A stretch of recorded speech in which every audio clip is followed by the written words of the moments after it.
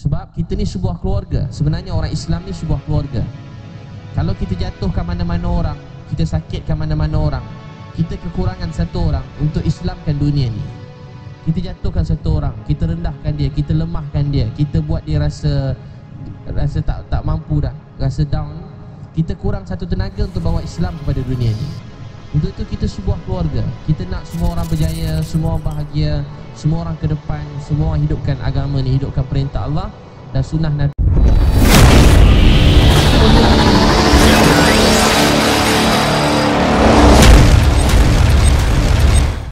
Alhamdulillah Dihormati uh, Nazir Masjid Dihormati Imam-imam Najutun Qasim Masjid uh, Ketua-ketua masyarakat di sini Tuan-tuan dan perempuan sekalian Semua sihat? Jadi Alhamdulillah Kasih sayang Allah Subhanahu Wa Taala Yang telah himpun kita semua Untuk duduk dalam majlis ilmu ni. Jadi bila Allah sayang Dia pilih kita untuk duduk majlis ilmu. Dan bila Allah sayang Dia pilih kita untuk menyebut nama dia Mendengar nama dia Jadi dapat menyebut, dapat mendengar nama Allah Walaupun sekali dalam hidup ini Satu kurnia dan nikmat Allah yang sangat besar. Jadi Allah yang sayang kita Dia yang bawa kita duduk di sini. Dalam saya Muslim, untuk majlis ilmu Allah ampunkan dosa. Ha, Jadi dosa saya dan tuan-puan sekalian Sedang diampunkan oleh Allah. Antara tanda bahawa mula dah rasa mengantuk Ada? Ha, tu dosa kat mata dah nak keluar dah. Ha, Tapi jangan tengok kawan sebelah tidur Banyak dosa dia ni dah tidur dah. Jadi duduk majlis ilmu ni Allah sayang Ada orang dalam dunia Mungkin dia presiden Amerika Dah mati yang dulu-dulu. Tapi mungkin dia ada kerajaan yang paling besar. Mungkin dia memiliki pakaian yang paling mahal dalam dunia. Mungkin ada kenderaan yang paling hebat dalam dunia. Mungkin ada rumah yang paling besar dalam dunia. Mungkin ada pengawal-pengawal yang ramai Paling hebat dalam dunia. Tapi kalau dia tak kenal Allah Dialah orang yang paling malang sekali Untuk tu dalam kita ramai-ramai ni Ada orang yang mungkin biasa-biasa. Tapi dapat sebut nama Allah Ni orang kaya. Siapa dapat sebut nama Allah Ni orang kaya dunia akhirat. Miskin kaya dia kulit putih, kulit hitam Keturunan mana pun Kalau dia sebut nama Allah tu tanda dia kaya. Tanda dia seorang yang kaya. Dalam sebuah hidup, satu kehidupan rumah tangga dalam hidup dalam Ramadan yang kita tempuhi siapa orang paling berjaya orang yang paling banyak sebut nama Allah dalam hidup dia orang yang makin kurang nama Allah disebut dalam hidup itu tanda kita semakin jauh dari Allah Subhanahu Wa Taala. Lagi banyak kita sebut nama Allah lebih bahagia hidup kita lebih tenang.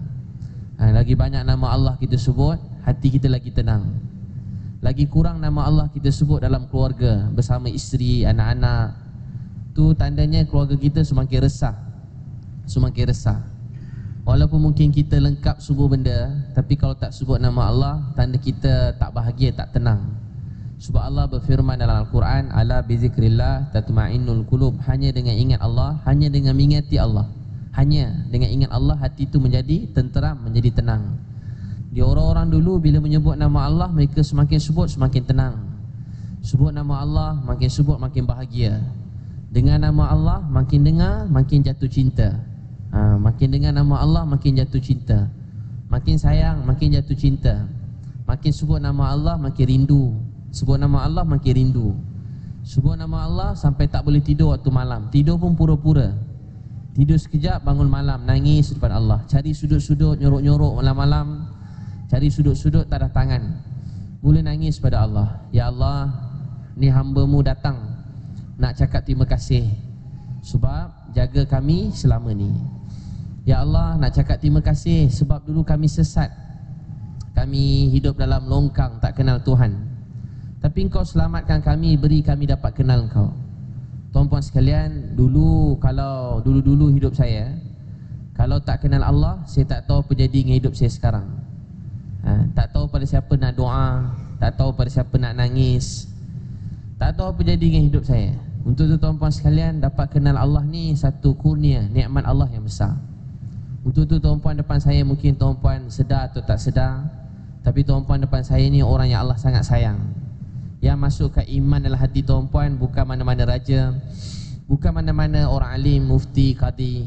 Yang masuk ke iman dalam hati tuan-puan ialah Allah. Allah yang masukkan. Sebab tangisan doa Allah suka doa Nabi sallallahu alaihi wasallam para sahabat berjuang, Allah masuk ke iman dalam hati kita semua. Jadi yang masukkan iman dalam hati tuan-puan ialah Allah. Yang masukkan siapa tuan-puan? Allah. Jadi Allah yang masukkan sebab dia sayang kita. Ha, dalam hadis Nabi SAW, Sahih Muslim, dalam majlis ilmu ni ada tiga jenis orang. Orang pertama bersegera duduk depan. Ha, dalam hadis tu kata siapa duduk depan rahmat Allah cepat pada dia. Siapa duduk depan rahmat Allah cepat, rahmat cepat. Ha, mungkin kalau lambat kahwin jadi cepat kahwin. Ha, siapa nak cepat kahwin duduk depan? Ha, Semua dah kahwin eh? Mungkin doa patut lambat makbul jadi cepat makbul. Ha, Kalau rezeki patut dapat 2,000 jadi 2,000 ha, Mudah-mudahan. Kalau dapat daripada B kalau pelajar boleh jadi A.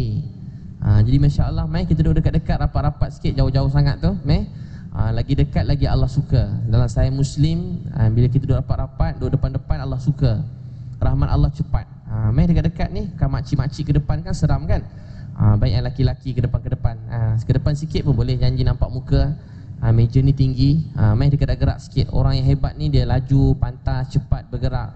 Ha, Bila kita bergerak ke arah rahmat Allah Rahmat Allah cepat kat kita. Orang yang malu-malu Rahmat Allah dalam hadis ni kata Malu-malu datang dalam hidup dia. Orang duduk depan ni dengan duduk belakang Beza dia langit dengan bumi. Sama lelaki lah.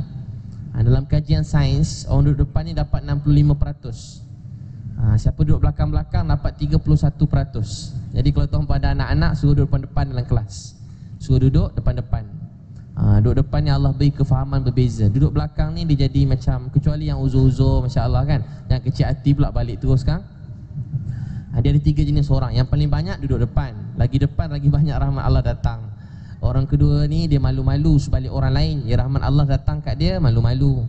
Orang ketiga dia terus beredar. Orang ni dia tak dapat apa-apa ha, Dia kata sama je ni semua tak ada apalah ni. Ha, Duduk ni pun tak ada apalah. Jadi orang macam ni dia tak dapat apa-apa. Untuk tu tuan-tuan dan perempuan sekalian Allah sayang kita. Dia bawa kita duduk sini. Ha, Cuma kerana dia sayang kita.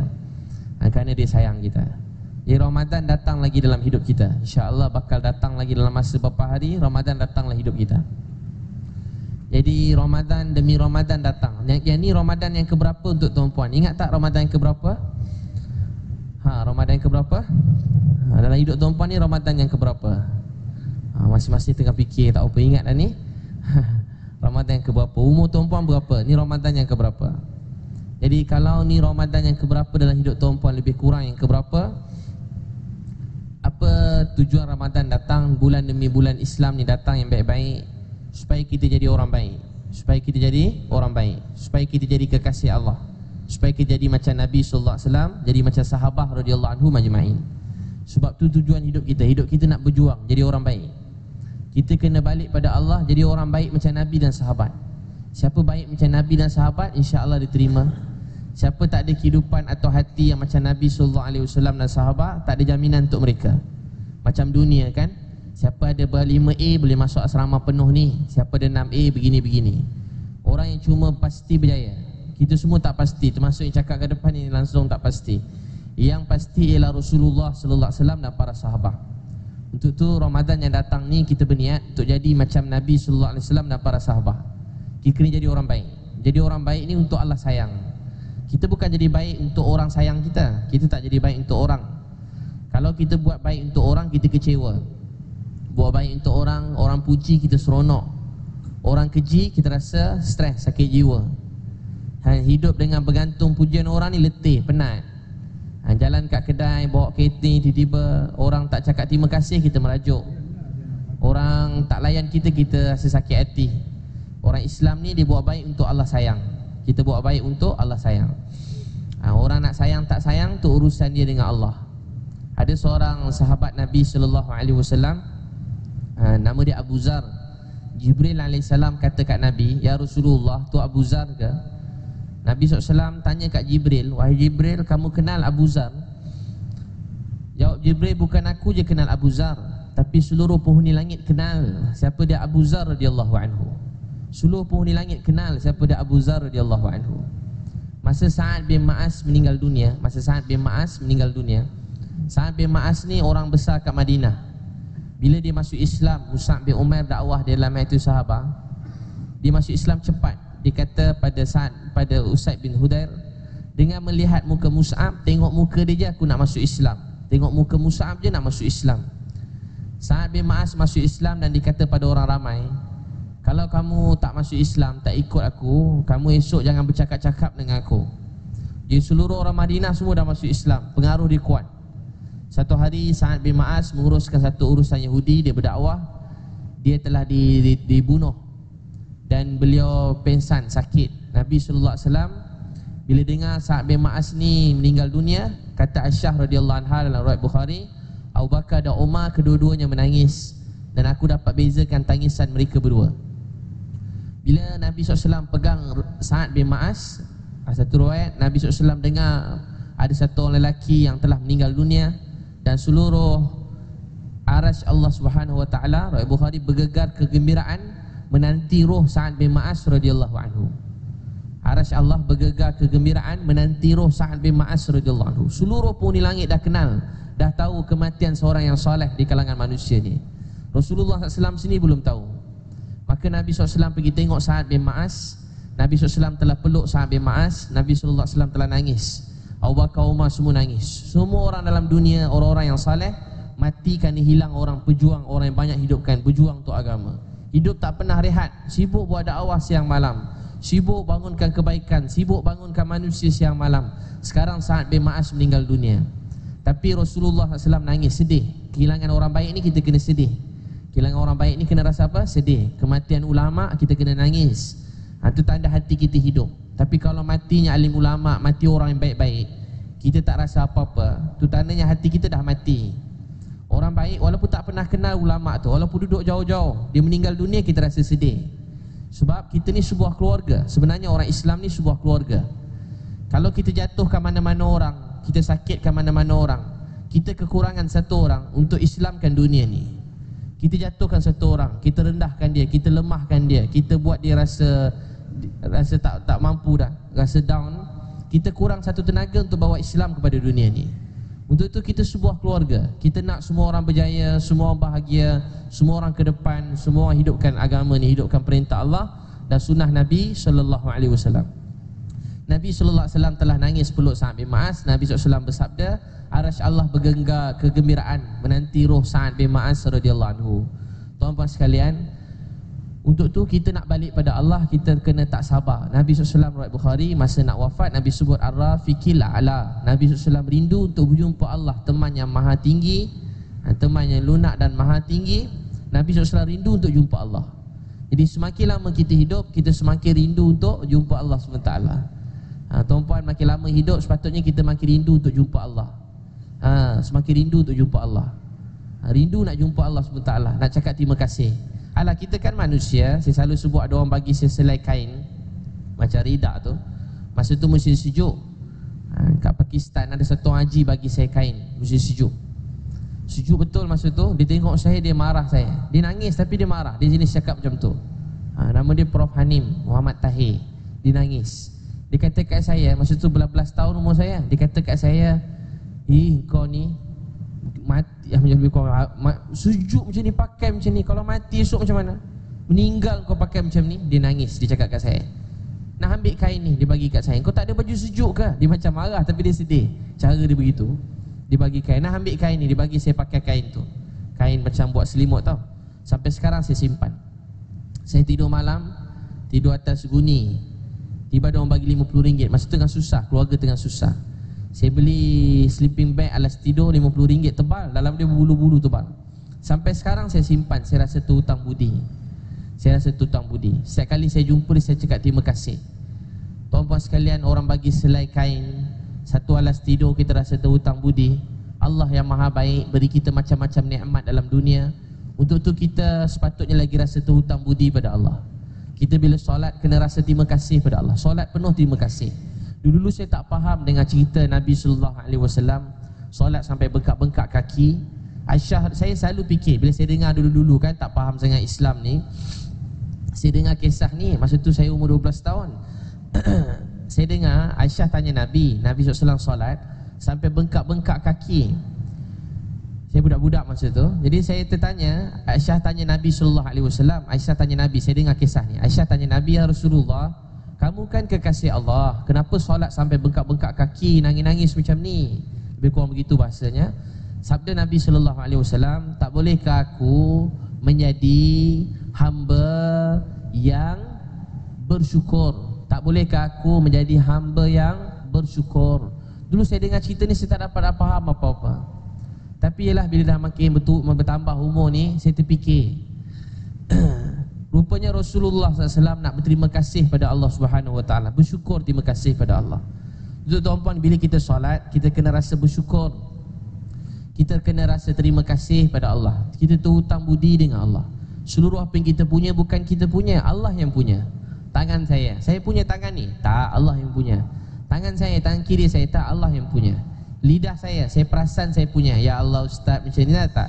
Lidah ni Allah yang punya. Dia boleh beri, dia boleh ambil. Jantung ni saya punya tak. Jantung ni Allah yang punya. Kaki saya dua belah tak. Kaki saya Allah yang punya. Kenderaan saya tak. Kenderaan saya Allah yang punya. Isteri saya tak. Isteri saya Allah yang punya. Anak saya tak. Allah yang punya. Jadi hakikatnya semua benda dalam dunia ni Allah yang punya. Dia bagi pinjam kat kita. Allah yang punya Dia bagi pinjam kat kita. Untuk tu kita kena terima kasih pada Allah Yang tak berhenti buat baik pada kita. Terima kasih pada dia.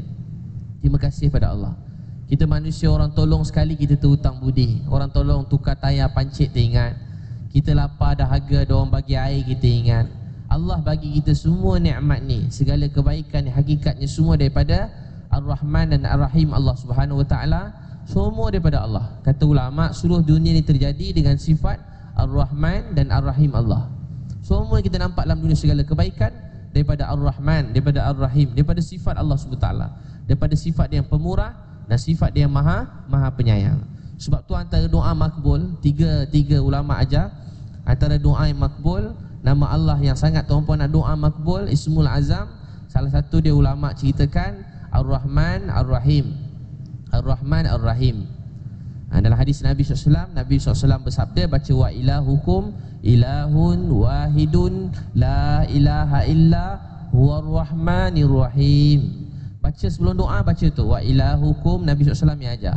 Wa ilahukum ilahun wahidun la ilaha illa huwa rahmanir rahim. Rasa kasih sayang Allah. Banyak doa.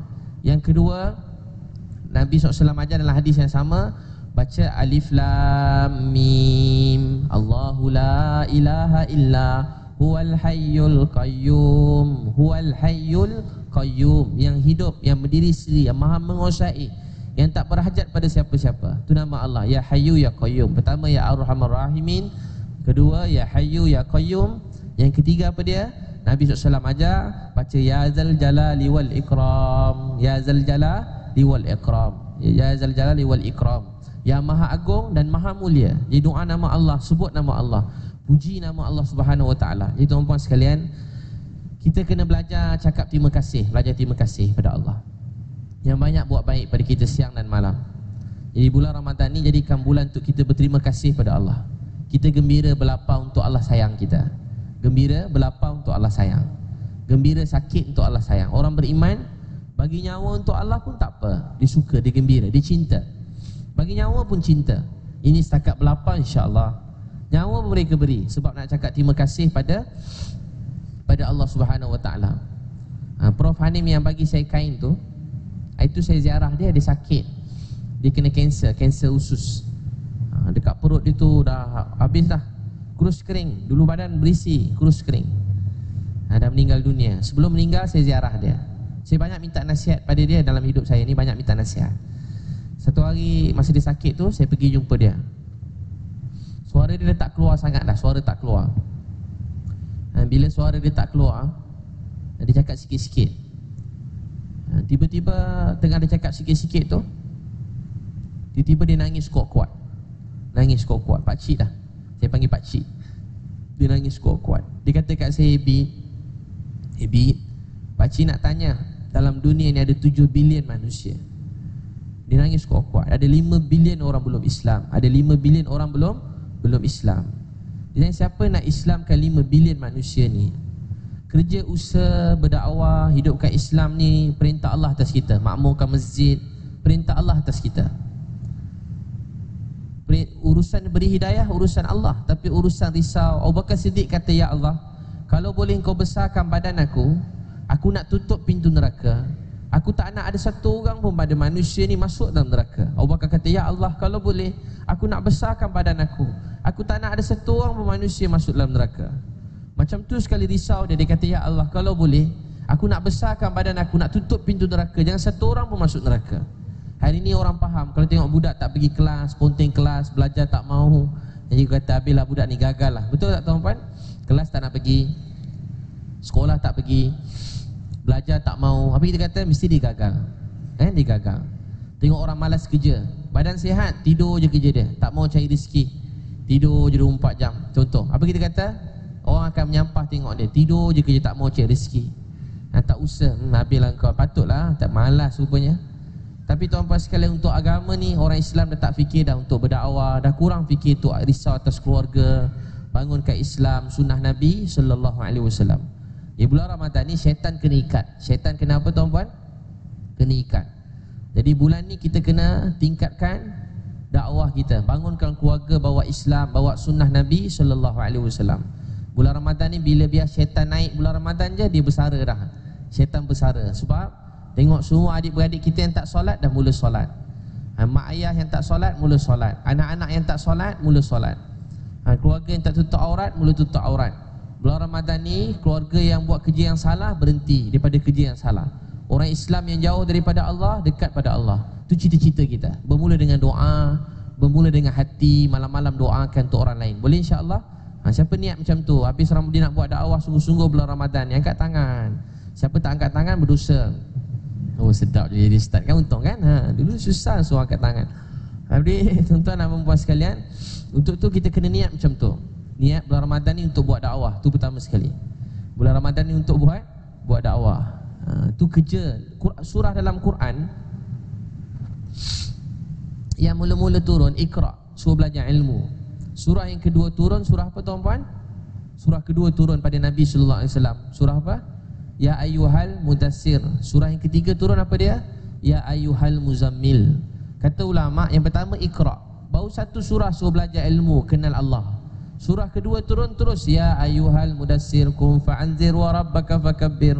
Surah kedua suruh buat dakwah. Sebab apa? Islam ni tak pentingkan diri sendiri. Kita tahu satu kongsi satu, tahu dua kongsi dua. Tahu sikit ajar tahu wudu, ajar orang wudu. Tahu solat, ajar orang solat. Jadi terus surah kedua turun suruh buat dakwah. Surah kedua turun apa dia? Suruh buat dakwah. Surah yang ketiga turun ya ayuhal muzammil kumil laila illa qalila. Suruh bangun malam. Allah perintah bangun malam. Jadi kata ulama ni asas agama. Apa dia? Ilmu, dakwah atau tilawah menyampaikan dan ketiga tazkiyah, tazkiyatun nafs membersihkan jiwa kita. Jadi tiga-tiga perkara ni dia seiring. Tiga-tiga perkara ni kita usahakan seiring dalam hati dan jiwa kita. Jadi tuan-tuan dan puan yang Allah sayangi, kasih sekalian. Ha, larat lagi dengan tuan-puan, memang khusyuk dengan ceramah selalu eh. Orang sini baik-baik semua masya-Allah. Khusyuk semua dengan ceramah. Ha, tak pernah tengok orang macam ni. Dia pandang Saya rasa seram pula kena pandang gitu kan? Yang macam tu eh? Ya Allah baiknya. Ya. Umur paling paling paling umur paling umur paling lama kat sini umur berapa je paling lama? Berapa umur? Ha, siapa pecah rekod umur paling paling lama kat masjid ni? Yang adalah masjid sekarang. Umur siapa paling tinggi? Angkat tangan. Rasa umur dia paling tinggi. Angkat tangan saya nak bagi hadiah buku doa ni. Ha, Siapa paling berumur sekali? paling berumur teruk ustaz soalan. Ha, siapa paling lama je? Berapa umur? Yang mana? Haji yang mana? Tak nampak. Mana? Haji berapa umur je? Ustaz? 75. Nama ustaz? Mukhlis. Ustaz Mukhlis. Ha, Haji Mukhlis. Masya Allah. 75. Ha, siapa lawan umur haji 75 tahun? Angkat tangan. Nanti ustaz ambil hadiah kat saya eh. Ada. Hadiah-hadiah buku doa. Jadi Haji Bayangkan Haji Mukhlis Umur 75 tahun. Allah pilih duduk dalam masjid ni ha. Duduk tak duduk kat tepi tu ha. 75 tahun Duduk depan sekali. Ha, 75 tahun. Dengar ceramah budak-budak Mu'alak Tak betul tidak budak tu cakap kan? Ha, Kena tangkap pula je lagi kan? Jadi Haji umur 75 Dengar budak-budak cakap kat depan. Umur 75 Dengar budak-budak mu'alaf cakap kat depan. Siapa yang pilih Haji duduk sini? Allah yang pilih Allah sayang Haji. 75 tahun dapat solat. 75 tahun dapat solat berjemaah. 75 tahun dengan ceramah lagi. Gila Badan tengah sakit. Tengah sihat lagi je ha, ha, Sihat lagi ya Allah. 75 tahun berduduk ha, Kita yang umur berapa ni pun dah rasa macam nak roboh badan tu. Haji 75 duduk depan dengan ceramah. Betapa sayangnya Allah ke Haji 75 tahun. Jadi Haji orang kaya Allah sayang. Allah yang pilih Haji duduk dengan ceramah Budak-budak. Mata sepet kat depan ni. Baru sekarang besar sikit mata ha. Yang paling muda umur berapa? Tania Haji Masya Allah Yang paling muda umur? Anak abang umur apa bang? 6 tahun Masya Allah Nama dia? Muhammad Zarif ha. Jadi adik Muhammad Zarif Umur 6 tahun Allah pilih masuk masjid Kenal Allah Maaf ada orang umur 60 tahun cerdik pandai Nama antara orang paling kaya dalam dunia Nama masuk orang paling kaya dalam dunia Tapi dia tak kenal Tuhan yang bagi dia kaya itu Allah. Dia tak kenal yang bagi makan pada dia Allah. Jadi Zarif Umur 6 tahun dapat kenal Allah. Zarif Walaupun dia duduk dipusing ke belakang Umur 6 tahun. Kalau dia duduk dengan ceramah depan Seram pula kita kan? Ah, Nanti kalau dia ceramah kat depan lagi Tuan pun seram. Jadi dia umur 6 tahun. Tapi duduk dengar Duduk sabar. Tu kira sabar lah tu. 6 tahun duduk dengan ceramah. Jadi siapa yang pilih tuan-puan anak-anak kecil duduk ini semua kasih sayang Allah Subhanahu Wa Taala. Tapi kita lupa nak cakap terima kasih pada Allah. Untuk tu tuan-puan belajar cakap terima kasih pada Allah. Belajar ucap terima kasih pada Allah. Dalam hadis Nabi sallallahu alaihi wasallam Sahih Bukhari bahawa siapa berpuasa dengan iman dan ihtisab Allah Subhanahu Wa Taala ampunkan semua dosa-dosa dia yang lalu. Ha, ini satu lagi hadis saya selalu tanya masa kecil-kecil dulu ha, macam biasa je dulu-dulu dulu-dulu. Biasa je dia punya hadiah dia. Ampun dosa je. Dia biasa je. Macam tak ada apa sangat patut grand sikit hadiah dia kan. Ampun dosa je. Tapi setelah kita lalui hidup ni kita tahu tak ada perkara lebih mahal dalam hidup ni daripada keampunan daripada Allah Subhanahu Wa Taala. Keampunan Allah ni perkara yang paling mahal sekali. Allah ampunkan kita tu perkara yang paling mahal sekali. Saya mungkin tuan-tuan pernah dengar kalau dah pernah buat-buat je macam belum ha, Kalau dah Dengarlah ha, Saya dua tahun lepas Saya nak pergi dakwah satu tempat. Saya ada cerita ke Astro Siswo ni. Dua tahun lepas. Saya nak pergi dakwah satu tempat. Tiba-tiba masa saya nak pergi Pergi dakwah dekat tu ha, Saya ketua jemaah tu. Adalah kampung-kampung asli kat situ. Bila saya nak pergi ha, Dekat dua bulan juga Tiba-tiba masa saya nak pergi ni Dalam perjalanan saya pergi Tiba-tiba dengan izin Allah ha, Masa tu semain jamak. Tengah semain jamak Adik saya SMS Bang, mak sakit jantung.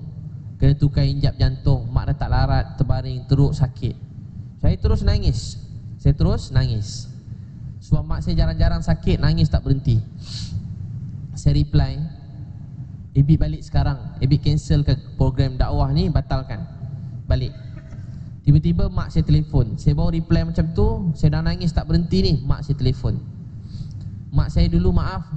Ha, Masa saya baca mula-mula sekali dulu Pakai skirt seksi. Tak bagus sebut saya sebut juga. Ha, Kat rumah penuh gambar mak saya seksi. Ha, Lawa mak saya. Yelah tengok anak Isa macam mana kan? Ha, Dia rasa macam nak muntah dah. Ha, jadi siapa yang datang menyampah je kan tengok ustaz ni. Kalau dengar tu benda senang sikit rasa nak muntah kan. Memang saja bagi tuan puan menyampah sikit. Jadi tiba-tiba uh, mak saya yang tu yang asal seksi tu Allah beri hidayah. Saya setengah tu saya reply mak Ebit nak balik sekarang. Apa saya nak balik tu mak saya kata Ebit kalau Ebit balik Ebit anak derhaka. Kalau Ebit balik Ebit anak derhaka. Saya terus nangis. Ya Allah mak kenapa cakap macam tu? Sedih saya. Pada kecil jarang duduk rumah dakwah sana sini, belajar sana sini. Selalu pada kecil macam tu lah. Jarang betul lah dekat rumah. Nak duduk dua hari, tiga hari kat rumah pun payah. Saya terus nangis. Dulu-dulu pula susah. Kerja kuat-kuat, rajin-rajin. Niat nak tolong keluarga. Niat nak tolong, nak tolong keluarga. Sekali rupa-rupanya, ha, baru senang tiga tahun yang Allah beri rezeki. Dua tahun tu mak saya sakit macam tu. Saya pun reply Apa saya cakap dengan mak saya Mak Ibi nak balik jaga mak kan? Jalan lain tak tahu lagi Hadis Nabi SAW tentang Ramadan tu kan Nabi naik apa naik mimbar Nabi SAW Malaikat kata uh, Binasalah Apa Nabi SAW Malaikat kata apa Binasalah orang-orang Yang Apa tiga doa tu? Binasalah orang-orang yang Hidup dalam bulan Ramadan Tapi tak dapat keampunan. Duduk Ramadan tak sedar Tak dapat keampunan. Saya malam raya Ada sekali raya, kena raya kat KL ha, Rumah isteri saya ni banyak keluarga kat KL Jadi raya kat KL Jadi saya sedih sikit lah tahun tu. Gaya kat KL Ramai Bangladesh pula kat KL Segi kawas tu tinggal saya dengan orang kawas tu je. Tiba-tiba ada budak-budak muda tau. Budak-budak muda rambut rambut lain macam sikit Seksi-seksi Budak lelaki perempuan Saya kata dek raya balik mana? Tahu tak dia kata apa kat saya? Gaya apa ustaz? Memang tengok dia orang pun lain macam tu lah Gaya muka, gaya pakaian tak sebut lah. Ha, Dia tanya ustaz gaya apa? Eh gaya apa bang? Gaya Idul Fitri lah. Eh kawan dia kata dah puasa ke? Dia kata apa? Dah puasa ke? Ha, Dah puasa. Dia tak perasan Puasa ke tak puasa dia tak tahu. Ada orang macam tu. Banyak kalau malam kalau kita dakwah-dakwah kat bandar-bandar tu Dia tak perasan puasa dah habis ke Dah mula puasa ke tengah puasa ke Taraweh ke tak taraweh Tak ada apa untuk dia. Dia tak tahu pun. Ada orang tak sedar pun datang bulan Ramadan. Ramadan tak Ramadan sama je. Dusta jalan, maksiat teruskan Masjid tak pergi Terus macam tu. Jadi sama puan sekalian Doa yang kedua Dia kata orang yang ada mak Ayah tapi tak jadi sebab untuk dia masuk syurga. Doa tu sama, tiga doa. Ketiga orang yang dengar nama Nabi sallallahu alaihi wasallam tapi tak berselawat pada Rasulullah sallallahu alaihi wasallam. Tiga tu. Nabi kata binasa tiga orang ni. Dengan nama Nabi tak nak selawat. Ada orang tak suka dengan nama Nabi. Ha, tak suka. Ha, tak suka dengan nama Nabi. Ha, tak selawat pun dah binasa. Tak suka tak tahulah. Kedua orang yang ada mak ayah tapi tak jaga mak ayah dia tak jadi sebab untuk masuk syurga. Ada mak ayah bergaduh, tak nak hemat mak ayah, dan satu lagi orang yang hidup bulan Ramadan Tapi tak berubah, tak bertambah baik Jadi masa tu Saya cakap mak, Ibi nak jaga mak. Jalan lain tak tahu lagi. Mudah-mudahan hemat mak ni Allah maafkan Ibi. Mak saya kata Ibi Kalau Ibi balik, Ibi anak derhaka. Mak janganlah cakap macam tu Saya dah nangis dah. Uh, Ibi nak jaga mak Nak mandikan mak Nak tukar pampers mak Nak lap air mata mak Nak lap darah mak. Mak saya kata kat saya Ibi Dulu keluarga kita dalam longkang tak kenal Tuhan. Allah beri keluarga kita dapat kenal dia. Kerana Allah sayang kita, Allah beri Nabi SAW yang banyak berjuang. Air mata darah Nabi mengalir dalam dunia. Kalau mak menangis, ada 10 adik-beradik engkau betul lap air mata mak. Kalau mak sakit, menitik darah, ada 10 orang bang kakak engkau boleh lap darah mak. Mana tanya ke Ibit? Tapi kalau air mata darah Nabi wasallam menitik dalam dunia ni, siapa nak lap? Saya tanya tuan-puan, pernah tak tuan-puan sekali dalam hidup ni selama hidup tuan-puan? Pernah tak sekali je sekali tengah malam tuan-puan bangun, tuan-puan duduk, nangis tak esak-esak. Ingat ada seorang lelaki yang pernah berjuang untuk kita, sungguh-sungguh habis-habisan tapi apa telah jadi pada agama kita hari ini? Apa dah jadi pada agama kita hari ini? Ha, dulu dunia ni tak ada kasih sayang, datang Islam penuh kasih sayang. Dulu dunia ni penuh dengan macam-macam benda buruk Datangnya Islam semuanya berubah Sekarang kalau tuan-puan tahu antara orang yang tak tenang dalam dunia juga orang Islam Yang kurang tenang dalam dunia. Dalam keluarga orang Islam dah kurang tenang. Bergaduh siang malam tak ada tenang. Orang Islam sama orang Islam pun sama. Lah tak ada dah, tak nampak dah mana-mana orang baik. Yang baik saya, semua orang dalam dunia jahat. Dulu-dulu orang Islam tak macam tu. Dulu orang Islam ni disayang semua orang. Dulu orang Islam nampak orang jahat nangis. Tengah malam tak boleh tidur. Satu orang mati tanpa Islam Orang Islam dulu nangis. Tuan-tuan sekalian Saya kata kat mak saya Mak letak pipi mak kat telefon Nabi nak cium. Mak letak tangan mak kat telefon Nabi nak cium. Ha, Saya cakap kat mak saya Mak letak tangan mak kat telefon Nabi nak cium. Mak letak tangan kaki mak. Saya tak pernah cakap macam tu dalam hidup saya. Dulu mak saya kalau cium-cium saya Saya selalu lap-lap. Mak saya cium saya lap-lap. Mak saya ni dulu-dulu dia semenjak dia berubah ha, Saya cerita tuan puan dia selalu buat makan-makan Setiap kalau saya balik kampung Saya kumpul budak-budak muda ha, Budak-budak motor Kadang budak asrama mana-mana Makan kat rumah saya Mak saya masak Lepas habis makan saya ceramah. Ha, Itulah aktiviti kat rumah saya. Dan mak saya tak kisah Banyak mana orang datang Dia sedia nak masak. Dan kalau ada orang buat dakwah kat masjid tempat saya Dulu-dulu Berapa hari dia duduk Mak saya akan masak. Berapa hari dia duduk kat masjid tu buat dakwah Mak saya tu akan masak. Banyak main majlis ilmu. Dulu dulu saya cerita dengan tuan-puan ni mak saya banyak sokong dalam dakwah saya satu hari bila hari tu saya mak saya kata Ibi saya kata kalau Ibi tak jaga mak ada adik-beradik lain boleh jaga mak. Ibi mak nak Ibi teruskan dakwah ni baru balik. Mak Ibi nak balik. Saya, mak saya kata kalau Ibi balik Ibi derhaka mak tak maafkan Ibi saya kata okeylah mak Ibi teruskan. Jumpa mak nanti. Mak mak, mak saya kata nanti jumpa. Saya tanya mak macam mana kalau mak Tak panjang umur Alah, daripada kecil kita cerita syurga, kita kenal Allah, hidup keluarga kita berubah. Kenapa nak takut mati? Dengan mati kita boleh jumpa Allah. Dengan mati kita boleh masuk syurga. Dan kita ada-ada cerita pasal Allah daripada kecil. Tuan-puan sejak bila belajar Islam? Daripada lahir-lahir kan? Ha, dengar pasal Allah, pasal Islam. Tiba-tiba nak mati takut. Ha, tiba-tiba nak mati takut. Patut nak mati gembira. Rindu nak jumpa Allah. Buat apa nak takut mati? Nak rindu jumpa Allah? Eh jangan takut nak mati. Memang itu kita cerita daripada dulu. Dah sampai masa kita akan jumpa Allah. Yang penting kita buat baik dalam hidup ni. Saya nangis saya kata kat mak saya Mak letak pipi mak kat telefon Ibu nak cium Saya nangis-nangis dah ni Mak letak tangan mak Kali pertama lah hidup saya Saya tahun puan Walaupun kerja ceramah-ceramah Kali pertama saya sedar nilai mak saya Dua tahun yang lepas Saya sedar nilai mak saya Dua tahun yang lepas Sebelum tu saya cakap dengan mak Tapi tak sama macam Saya rasa dua tahun yang lepas. Untuk tu siapa ada mak ayah lagi Hargai dengan baik. Hargai dengan dengan baik. Hasan Basri Rahmatullah Alaih kata Kalau tu orang kata kat Hassan Basri Saya dah jaga mak saya, ayah saya. Lama. Saya basuh najis di atas tempat tidur dia. Saya berlayan dengan baik. Saya dah balas jasa mak saya. Mak dia kata belum. Hassan Basri kata belum. Sebab anak-anak Mak basuh berak anak sambil doa Ya Allah Kalau saya mati tolong jaga anak ni Kalau saya dah tak ada Berilah anak ni berjaya Ya Allah Ambillah saya tapi jangan ambil anak saya Ini doa mak ya Tapi anak-anak berbeza Anak-anak kalau dia nak apa-apa, dia doa mak dia mati, dia tak cakap tapi itu dia nak. Ha, dalam hati dia budak-budak sekarang, mak dia tak ada lagi senang mak ni. Ha, dalam zaman sekarang pula banyak tengok cerita orang putih. Jadi mak ayah ni jadi permainan. Mak ayah jadi permainan. Anak-anak kita pun terpengaruh gaya hidup macam nak bebas, nak macam-macam kan. Jadi mak ayah cakap sepatah je lawan mak ayah, bergaduh dengan mak ayah. Anak-anak orang Islam hari ni. Ha, bergaduh, lari pada rumah. Macam-macam. Sebab tu tuan-puan sekalian, ha, kita ada mak ayah jaga dengan baik. Hargai mak ayah kita. Dalam bulan Ramadan ni amalan sunat diganda fardu. Amalan fardu diganda 70 kali. Jaga mak ni fardu. Jaga mak ni mak kita dah sakit tua uzur ziarah dia. Hormat dia fardu. Wajib. Jadi kita muliakan mak ayah. Bulan Ramadan ni saya tanya mak ayah kita kat mana bulan Ramadan ni saya minta maaf saya tanya cerita ni sebab ada seminggu ni ada dua orang eh, hantar kat saya message ha, wanita. Mak dia sakit dia hantar ke rumah orang tua. Abang-abang ni tak nak jaga. Jadi suami dia tak bagi dia jaga. Dia tanya saya macam nak buat. Mak dia kat rumah orang tua. Saya kata apa guna kita suami isteri? Tapi mak kita dah tua uzur tak ada orang nak jaga. Kita hantar kat rumah orang tua Suruh mak tu nangis nak balik. Tapi anak dia tak, tak boleh nak jaga mak dia. Untuk jaga mak dia dah tua tu Untuk apa orang Islam tak macam ni sifat dia. Dia kata suami saya tak bagi Saya kata Yalah puan fikir sendirilah. Puan-puan ada akal fikiran mak kita Tiba suami tak bagi sikit Tak nak pujuk dah biar. Tak payah jaga. Pujuk suami kita. Nama pun suami isteri Betul kan?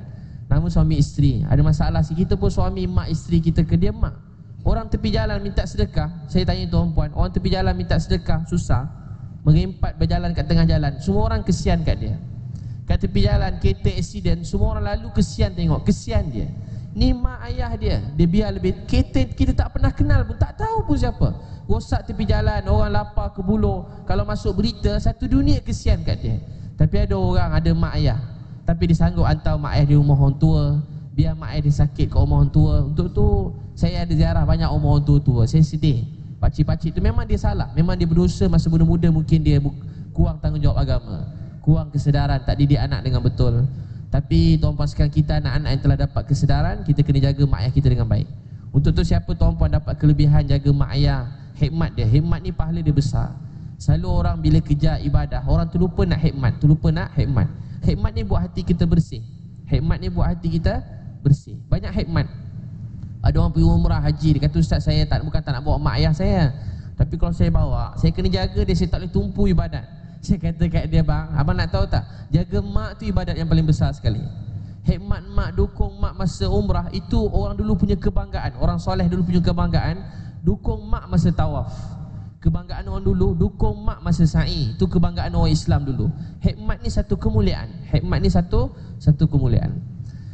Saya ringkas dengan tuan puan Untuk tu siapa ada mak ayah jaga dengan baik Ada mak ayah mertua jaga dengan baik kan? Apa pun kekurangan dia kita doakan maafkan ha, Yang lepas tu kita maafkan. Saya lepas tu saya reply apa Saya balik, saya ringkas tuan puan Saya tengah ceramah macam ni. Ada orang letak kertas atas meja saya. Ustaz, kena pergi hospital sekarang. Ustaz kena pergi hospital sekarang. Saya pun sampai kat rumah. Eh, Saya pun drive laju nak pergi hospital. Sampai ke hospital saya paling last kira sampai. Dalam adik-beradik saya. Sampai-sampai saya pun doa Ya Allah Semua doktor, semua orang kata mak saya meninggal hari ini. Mak saya dah tak ada harapan Sikit lagi nak pergi. Ya Allah saya daripada kecil Cuma kata yang boleh buat cuma engkau. Selain pada engkau tak boleh buat apa-apa. Ya Allah aku beritahu semua makhluk ni tak ada kuasa yang berkuasa tu engkau. Ya Allah Walaupun semua orang kata mak saya dah tak ada harapan Saya yakin mak saya cuma akan mati bila kau tentukan. Mak saya akan hidup bila kau tentukan. Saya kata ya Allah Adik-beradik saya semua suruh doa supaya mak saya pergi dengan baik. Tapi saya baru nak jumpa mak saya. Sepanjang saya berdakwah kampung asli tu setiap malam biasa saya doa benda lain. Hari tu saya doa satu je. Ya Allah panjang kau umur mak saya, saya nak khidmat dia. Panjang kau umur mak saya, saya nak khidmat dia. Sepanjang kau umur mak saya, saya nak khidmat dia. Saya nak jaga dia, saya nak khidmat dia. Sampai saya saya doa Ya Allah Saya tak mampu nak doa mak saya pergi. Saya nak minta keajaiban kau Berilah mak saya sihat Saya doa tu pelik sikit lah. Tapi itulah yang saya mampu nak doa. Adik-adik saya suruh doa pergi Saya kata Ya Allah panjang umur mak saya. Tak kira Allah Mak saya meninggal dunia. Saya terus jatuh Saya nangis. Saya tertanya-tanya dalam hati Ya Allah ha, Dekat dua bulan saya nangis doa kau panjang umur mak saya. Tapi kau ambil mak saya. Saya nangis. Lepas tu saya bangun Saya cium mak saya. Saya cium dahi dia Saya cium tangan dia Sambil saya kata Ya Allah Terima kasih sebab Ambil nyawa mak saya Inilah doa saya 22 tahun yang lalu Ya Allah jangan matikan mak Jangan matikan ayah saya Melainkan matikan mak dan ayah saya sebagai orang Islam Tuan-tuan sekalian saya baca dalam Quran Lebih kuat maksudnya orang beriman ini akan dikumpulkan kembali bersama ahli keluarga mereka dalam syurga. Kalau anak-anak tuan-puan jaga agama, berpuasa dengan baik, bangun malam, jadi orang baik, jujur, tak makan yang haram, kita akan dapat berkumpul kembali dengan ahli keluarga kita. Bukti kita sayang keluarga kita dengan sebenar-benarnya, kita pimpin keluarga kita masuk syurga. Kita pimpin keluarga kita masuk syurga. Saya baca maksud Al-Quran tu, orang beriman akan dikumpulkan kembali dalam syurga. Lepas mak saya meninggal saya sedih, ramai kawan-kawan saya semua forward kat saya ayat Quran maksudnya itu orang beriman akan dikumpulkan kembali dalam syurga. Tuan-puan tahu tak? Saya bahagia mak saya mak saya mati dengan Islam. Tapi ada dalam dunia ada 7 bilion manusia. Ada 5 bilion lagi manusia dalam dunia yang tak kenal Islam. Ada manusia yang kalau mereka mati mereka akan mereka tak kenal Allah. Untuk tu kita kena banyak nangis doa. Tuan-puan tengok orang bukan Islam, tuan-puan kena nangis doa. Tuan-puan pergi mana-mana tengok orang bukan Islam, doa nangis. Jalan tepi jalan. Tengok ni bulan Ramadan doa makbul, doa tuan-puan makbul, doa banyak-banyak. Ada ustaz saya ajar sebelum buka puasa tu, sebelum buka puasa tu, doa panjang-panjang. Doa panjang-panjang. Doa nangis-nangis, doa panjang-panjang. Jangan malas doa. Ulang-ulang doa sebelum buka sebelum buka puasa doa. Sebelum subuh doa ha, Lepas tarawih doa Lepas witir doa Bangun tidur doa Banyak-banyak doa Bulan Ramadan doa dimakbulkan Dalam hadis Nabi yang sahih Setiap siang dan malam Ramadan Doa umat Nabi Muhammad SAW dikabulkan Setiap hari paling kurang satu doa tuan-puan dikabulkan. Satu siang, satu malam Doa tuan-puan dikabulkan. Setiap siang dan malam Ramadan Doa umat Nabi SAW diterima. Doa tuan-puan diterima. Jadi tuan-puan banyak-banyak doa. Paling kurang satu Allah kabulkan doa tuan-puan. Antara doa yang tuan-tuan kena selitkan Ya Allah beri hidayat pada semua manusia dalam dunia Dapat kenal kau Sebab kezaliman kita yang paling besar Tuan-tuan tengok orang Tuan-tuan tengah sihat ni Tengah solat sunat. Tiba-tiba ada orang jatuh longkang Tuan-tuan wajib berhentikan solat tadi Pergi tolong orang jatuh longkang. Hari ini umat sedang terjun dalam lubang neraka. Umat orang Islam tengah jauh pada perintah Allah. Orang Islam jauh daripada perintah Allah. Orang Islam lalai. Antara tempat yang paling banyak maksiat hari ini Tempat negara orang Islam. Ha, Pusat pelacuran antara yang besar Dekat Dubai. Maaf saya sebut begitu. Ada kapal-kapal Kalau tuan-tuan bercuti kat sana. Kapal-kapal ni dua tingkat je Pusat pelacuran maksiat. Kita kena kesian dengan orang Islam Ramai orang Islam tak solat Tinggal perintah Allah Saya pergi satu rumah kat kawasan rumah saya Rumah flat tinggi Saya cari dia orang Dia orang cabut lagi Saya teringat Saya pergi dia orang cabut lagi Rumah budak muda Saya pergi cabut lagi Tengah malam Lepas habis ceramah tengah malam Saya singgah satu rumah Selalu macam itulah setengah jam tu kita mampu buat kan sikit-sikit. Allah maafkan Allah terima. Saya pergi rumah budak muda tu. Saya tahu tu rumah ni ada budak muda. Saya cari rumah budak-budak muda, budak-budak college. Banyak duduk KL ni terbiar. Walaupun maaf yang saya pergi ni budak kulit Islam. Saya pergi. Saya masuk rumah dia Dia pergi dia lah cabut lagi Apa saya buat? Saya datang lagi sekali Saya dengar ustaz saya kata beli sate.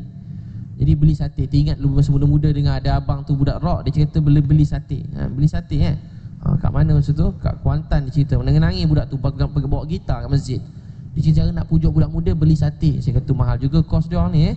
Ha, Beli sate Beli sate, saya beri salam, dia orang cabut lagi masuk rumah. Dia nampak saya tunggu masuk rumah. Saya selalu je tu, tunggu kat depan rumah tu dekat sejam. Rumah budak muda boleh orang kahwin jangan buat macam tu. Kena kerja marah nanti. Saya tunggu kat depan rumah. Nampak dia nak keluar aja. Assalamualaikum. Dia putus masuk rumah balik semula. Jadi apa saya buat? Saya letak je sate kat luar. Saya kata abang memang beli sate ni untuk korang. Korang makan lah. Memang saja beli kat korang. Saya pergi. Tengok pada jauh. Tunggu kan. Tengok juga takut sate tu suku kucing makan. Tiba-tiba tengok tangan orang keluar ambil sate. dia cuma tak nak jumpa saya. Sate dia terima. Maknanya dia percaya saya bukan orang jahat lah. Kalau orang mesti takut dia orang ni jampi pula sate aku ni. Esok saya beli sate lagi letak depan rumah dia. Tiga hari beli sate letak depan rumah.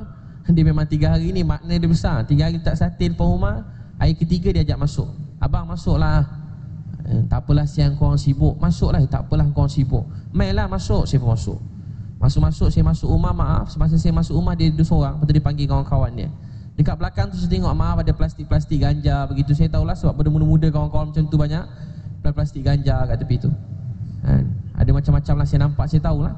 Saya duduk situ saya pun Panggil dia orang. Saya cerita-cerita kat dia orang. Mula saya cerita bidadari. Lepas tu cerita pasal solat. Bila saya nak keluar dia kata bang bang nak tanya sikit. Dia orang dah dua semester duduk situ dua semester. Bang nak tanya Kiblat mana? Tanya saya kiblat mana?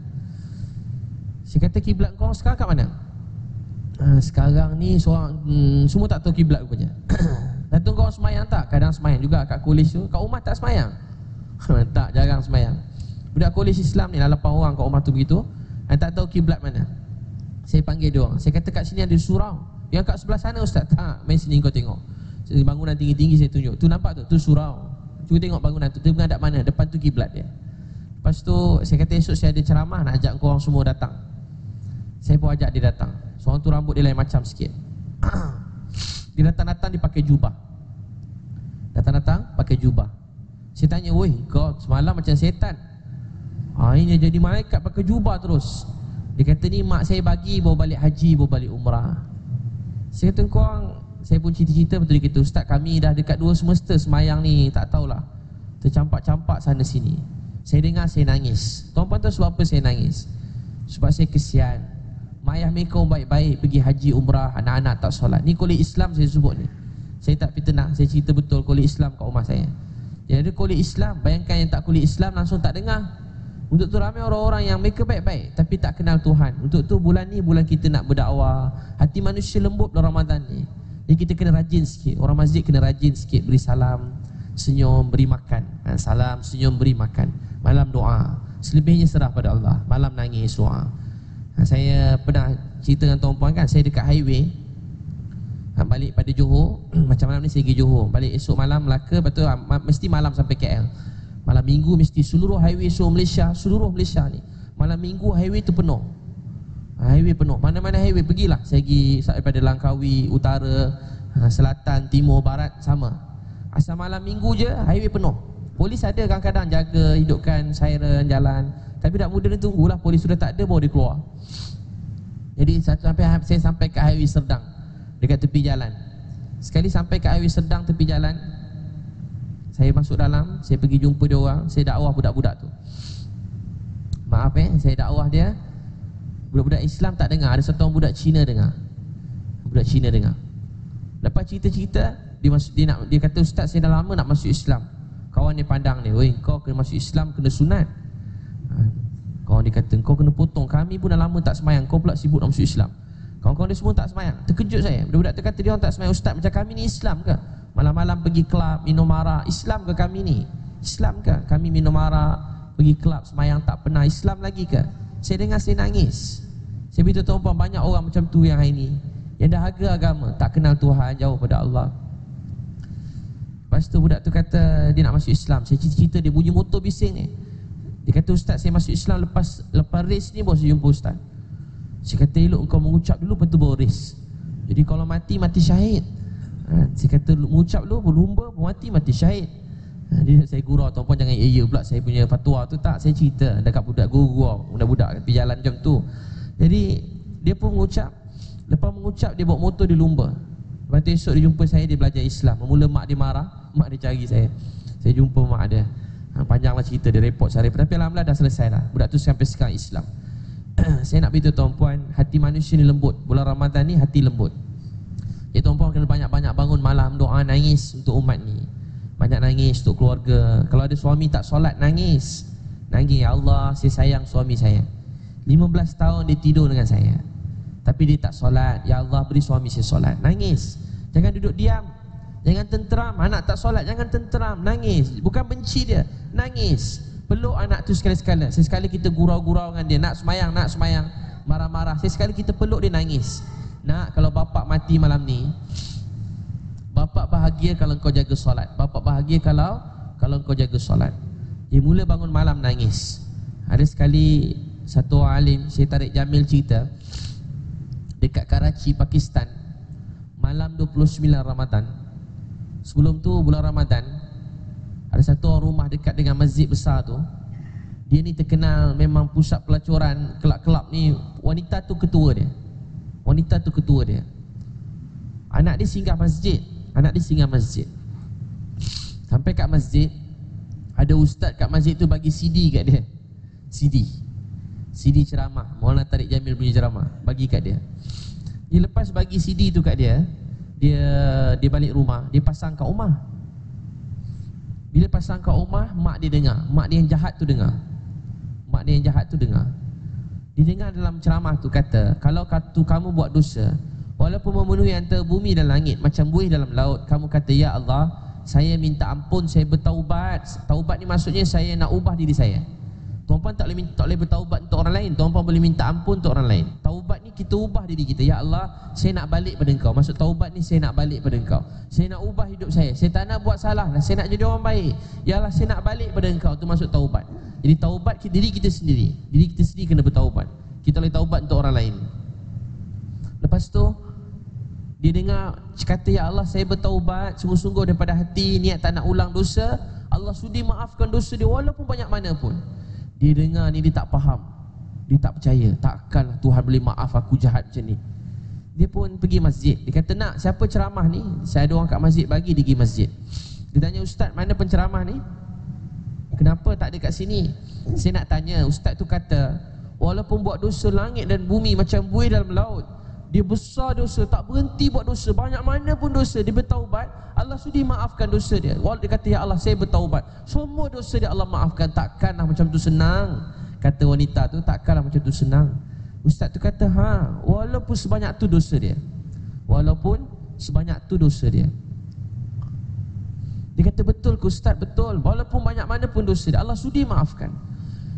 Dia macam tak percaya Yalah dia umur Allah bagi rezeki jahat langgar perintah Allah. Dia pun mula pergi masjid. Wanita tadi sembahyang tarawih kat masjid. Malam 29 Ramadan, malam 29 Ramadan masa orang qiyamul mak cik datang kat masjid, dia pun solat. Masa dia tengah solat, dia nangis tiba-tiba dia nangis kuat-kuat. Setiap malam dia nangis, malam tu dia nangis kuat-kuat. Dan dia telah ucap perkataannya semua orang dengar. Dia kata ya Allah, aku makin takut dengan kau. Ya Allah, kalau Aku tak tahu kau dah maafkan aku ke tak? Aku tak tenang. Tak tahu kau dah maafkan aku ke tak? Ya Allah Kalau kau dah maafkan aku Kau ambillah nyawa aku ni. Ya Allah Kalau kau dah maafkan aku Kau ambillah nyawa aku. Ya Allah Kalau kau dah maafkan aku Kau ambillah nyawa aku. Tak dia Allah? Semua dengar dia nangis kuat-kuat. Kemudian Makcik tadi meninggal dunia. Meninggal dunia. Saya nak beritahu tuan-puan sekalian Bulan Ramadan ni bulan untuk kita balik pada Allah SWT Minum air eh.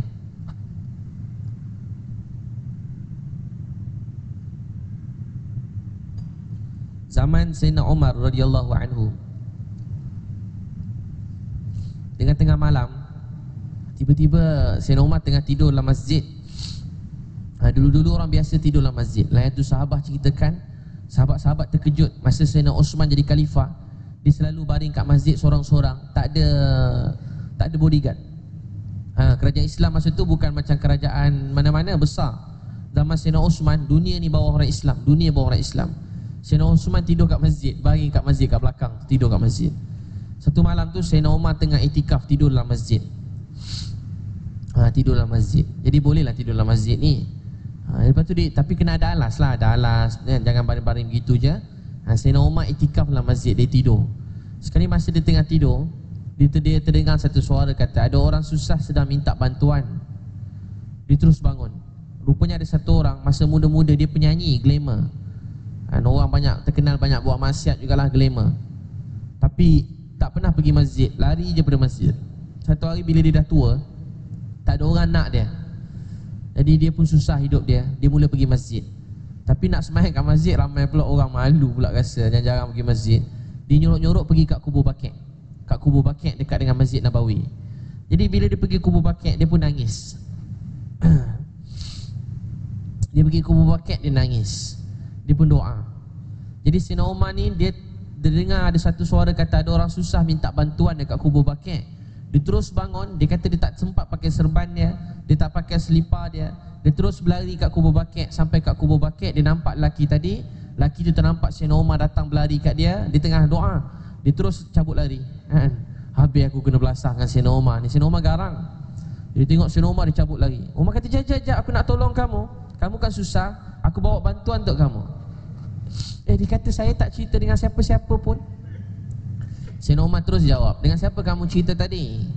Kamu cerita dengan Allah Allah yang gerakkan aku untuk tolong kamu Maka bila dengar je ni Laki tadi daripada berdiri Dia terus jatuh ke tanah dan nangis Dia terus tanda tangan Kita selalu macam tu Masa kita sihat, kita kuat Kadang-kadang kita ada duit, kita ada kuasa Kita ada macam-macam Kita lupakan Allah SWT tapi bila kita dah susah, kita dah tak ada jalan, dah tak tahu nak buat apa, dah tak tahu nak jumpa siapa, barulah kita pelan-pelan ambil uduk pelan-pelan.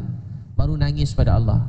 Kalau dunia lah dah kena halau. Kalau kawan macam ni, kena halau dengan kawan-kawan. Oh, time senang kau tak ingat aku, time ada duit hilang. Time susah datang. Kita halau kawan macam ni. Pergi kerja pun sama, time tengah ni hilang. Time tak diperlukan datang. Orang ni pun kena halau pada bos. Lambat kerja je bos halau pada pejabat. Tuan-tuan sekalian Allah Maha Penyayang. Dia tak pernah halau kita semua. Dia sayang kita semua Dia sambut kita Walaupun siapa pun kita. Walaupun pun telah kita buat. Mungkin manusia belum sudi maafkan kita. Benci tengok kita. Tapi Allah sudi maafkan. Maka apa jadi? Ha, Maka apa jadi?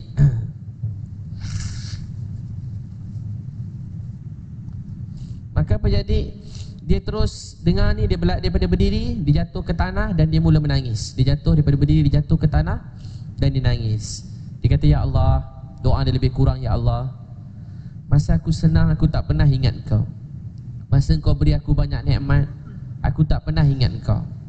Masa aku sehat, aku selalu lupakan kau.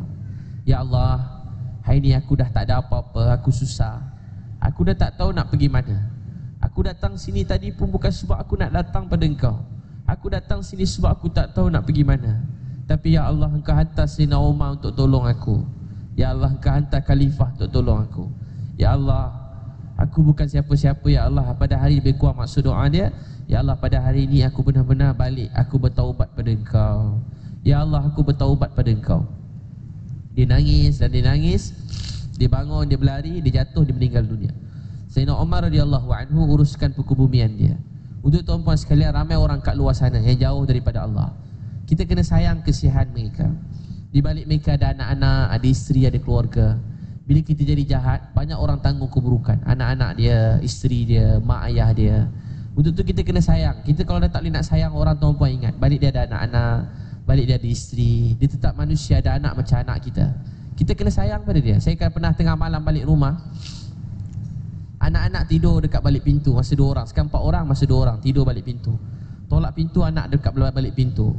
Ha, saya pun eh, saya pun peluk dia letak kat masukkan kat bilik dia dua pagi nak letak kat bilik. Anak saya kata ayah ab, abang rindu kat ayah. Tak sempat jumpa ayah. Tadi ayah bangun ayah dah tak ada. Ha, sebab tu tidur depan pintu nak peluk cium ayah. Saya pun peluk cium ni. Masa budak-budak lagi. Saya nak bangun keluar pagi pula subuh masa tu dengan demam teruk. Tiba peluk anak tu rasa rasa sihat. Peluk anak ni sihat. Dalam hadis Nabi satu orang peluk anak. Nabi kata kamu sayang anak, ya Rasulullah saya sayang anak saya. Kata Nabi masa kamu peluk anak rahmat Allah mencurah-curah pada kamu. Tuan-tuan kena banyak peluk anak. Anak-anak akan faham agama ni bila kita banyak turunkan kasih sayang pada mereka. Peluk, cium anak-anak. peluk cium anak-anak kita selalu peluk cium anak-anak ada mak ayah peluk cium dia cium dahi dia cium pipi dia dapat pahala Allah suka saling mengasihi tiba-tiba tiba-tiba apa jadi ha, saya keluar pagi pula kakak dia pula baring depan pintu. Si Amin letak kat bilik kakak dia kata ayah rindu nak jumpa ayah. Tuan-tuan sekalian sedang anak-anak kita kita sempat berlayan-layan. Anak saya kalau saya duduk kanan bawa air bagi air kat saya. Berebut-rebut bagi air. Berebut-rebut suapkan kopok saya terik nangis saya teringat. Rasulullah SAW Anak-anak saya sempat nak suap makanan pada saya. Anak-anak Nabi sakit demi agama ni. Anak-anak Nabi lap darah pada Nabi. Lap kotoran pada Nabi SAW Untuk tu tuan-puan sekalian Bawa keluarga kita anak-anak sayangi. Tengok orang jahat tepi jalan Tuan-puan tanda tangan. Jangan kedekut doa. Ha, Bulan Ramadan ni banyak-banyak doa. Cakap baik-baik. Yang haram-haram semua tinggalkan. Jangan cakap bukan-bukan. Jangan keji orang. Bila hujan jangan komplain hujan. Allah marah. Nabi SAW sahih Muslim Bila hujan dikenakan diri kat hujan. Nabi SAW kena hujan gembira. Sahabat tanya Rasulullah hujan ni? Lebih kurang maksud Nabi SAW bersabda Hujan ni rahmat Allah Subhanahu SWT Kita kalau hujan macam mana? Kalau hujan Apa kita cakap? Allah hujan pula banjir ha, Tak banjir lagi Kalau kita yang turunkan tuan-puan kerja bagian hujan Agaknya lepas dengar orang cakap macam tu buat apa? Dunia ni panas Nak sejukkan bagi hujan Tiba dengar orang komplain macam tu Apa nak buat? Ha. Curah hujan tu kat rumah dia kan Bagi banjir mulut hidung dia semua sekali 20 tahun komplain hujan Hujan tu tak masuk pun dalam hidung dia Hujan tu tak masuk dalam hidung dia Tapi dia komplain hujan Suatu orang kenal Allah malu nak komplain makanan. Nabi tak pernah komplain makanan. Tengah makan Dia tak komplain makanan tu. Sahabat pergi ni Buat dakwah makan muah masak. Orang komplain dia tak komplain. Dia kata kami orang Islam tak tengok apa kami makan Tapi lihat siapa beri kami makan. Orang kenal Allah tak komplain isteri dia Tak komplain suami dia Tapi sibuk dakwah bangun ke isteri suami dia Orang kenal Allah tak komplain anak-anak. Apa sal kau ni? Bodoh sangat kan? Ada orang bapak marah anak bodoh betul kau ni. Bodoh tu tak ingat-ingat. Ulang 10 kali bodoh betul. Dia terlupa yang bagi anak tu kat dia siapa dia? Allah. Dibanding-bandingkan anak dia anak ni anak ni anak ni. Tuan-tuan sekalian orang kenal Allah tak komplain. Nak sampai sepinggan nasi depan meja kita. Sahur buka puasa kan nak sampai sepinggan nasi tu ada orang berjuang cucuk tanam sawah padi berjuang siang malam sampai nasi. Nak sampai ikan atas meja kita ada orang susah payah. Orang apa musim tengkujuh apa kalau dulu kan kita tengok ni orang kadang ada susah payah nak cari rezeki untuk keluarga. Nak sampai ayam depan meja depan ni ada orang susah payah ternak ni. Siang malam mau susah payah. Sampai ke depan meja kita kita tolak Ada orang tolak makanan Ada orang komplain makanan. Dia tanya sebab apa komplain makanan? Saya dah bayar makanan ni. Dia komplain dia tolak. Saya tengok kat kedai makan Tiga kali lah saya tengok peristiwa macam tu. Orang tolak makanan makin hamun makanan. Macam tak ingat Kecuali lah ada benda-benda yang membunuh diri ke. Cuma apa sebab kurang masin Terlebih masin Tercurah garam. Ditolak pinggan tu macam nak marah Jerit satu kedai dengar. Saya terfikir kalau orang kenal Allah dia tak akan buat macam tu. Sebab dia malu nak komplain. Untuk tuan-puan sekalian mak kita, isteri kita, keluarga kita hidang makanan kat masjid ada siap sahur, buka puasa, kita jangan komplain. Jangan komplain. Malu dengan Allah, malu dengan Allah. Ha, kita nak komplain orang tahan mulut kita. Nabi alaihi wasallam ha, bulan Ramadan nak mengajar kita menjadi manusia yang baik, bercakap yang baik, mendengar yang baik. Nabi SAW daripada lahir Lahir-lahir ayah tak ada 6 tahun mak meninggal Meninggal pula kat abuah Nabi tak komplain Mak meninggal kat Abuah Tak ada orang Patut kekasih Allah Buatlah mak punya Nabi meninggal tu ramai orang uruskan. Yang uruskan mak Nabi Nabi dengan Ummu Aiman. Dekat dekat Abuah Tak ada orang lain. Adik-beradik pun tak ada. Nak suruh buat dakwah suruh adik-beradik tak ada. Lahir bapak meninggal. 6 tahun mak 8 tahun datuk. Kena pulau lembah Abi Talib. Hantar tempat paling teruk dalam dunia. Manusia paling teruk kat situ Allah hantar Nabi.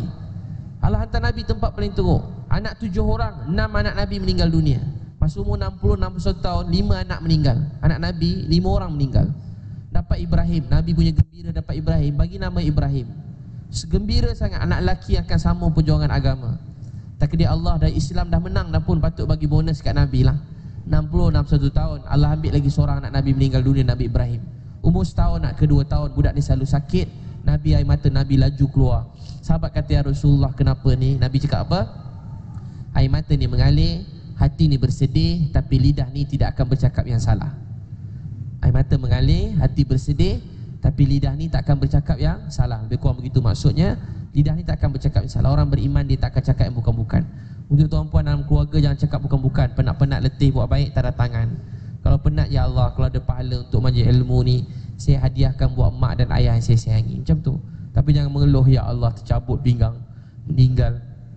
Ha, Jangan komplain Penat sikit bulan Ramadan ni jangan komplain ha, Belajar syukur pada Allah eh? Belajar syukur Gembira Berpuasa dengan gembira Berpuasa dengan dengan gembira Allah maha melihat Macam orang bercinta Dah lama tunggu bang Taklah baru sampai Tuan baru bercinta kalau tak bercinta dah lama tunggu bah macam nak meninggal tunggu. Ha, jadi orang bercinta nikmat, menunggu pun nikmat. Dah lama sampai taklah baru sampai. Sebenarnya malam tadi dia tak tidur tunggu nak jumpa. Ha, orang bercinta. Macam tu orang bercinta nikmat. Ha, tengok pun nikmat. Kenapa yang mata merah je ni tak Itulah abang rasa rugi kelip mata tak pandang muka abang yang handsome tu. Ha, mata pun tak nak kelip rasa rugi. Orang bercinta. Ha, dua saat je gimana yang pergi bilik air? Lama ke sekejap? Jangan lama-lama yang tak 5 minit je Allah lamanya yang 3 saat je lah Risau orang bercinta Orang dengan Allah macam tu rindu Tengah malam rindu Tak sabar Kata ulama' ahli sufi Ulama' lu kata ada tiga tanda cinta Pertama kita sayang apa sahaja berkaitan dengan Allah. Kita cinta. Nama Allah kita cinta. Rumah Allah kita cinta. Perkataan Allah kita cinta. Kekasih dia Rasulullah SAW kita cinta. Keluarga Nabi kita cinta. Para sahabat radhiyallahu anhum Abu Bakar Umar Uthman Ali radhiyallahu anhum kita cinta. Apa saja berkaitan dengan Allah kita cinta. Kedua bila berjauhan rindu. Berjauhan rindu.